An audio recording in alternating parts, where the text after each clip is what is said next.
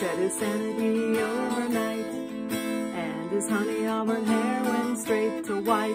What did he see? What ghostly dread? What devils occupy his head? Poor Sean, poor Sean, his mind blew away and now it's gone. Poor Sean, poor Sean, huddled and staring with his hair turned white.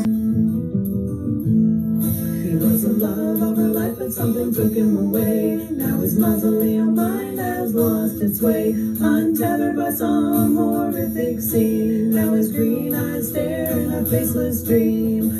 Poor Sean, poor Sean, his life away and now it's gone. Poor Sean, poor Sean, stuck in a life on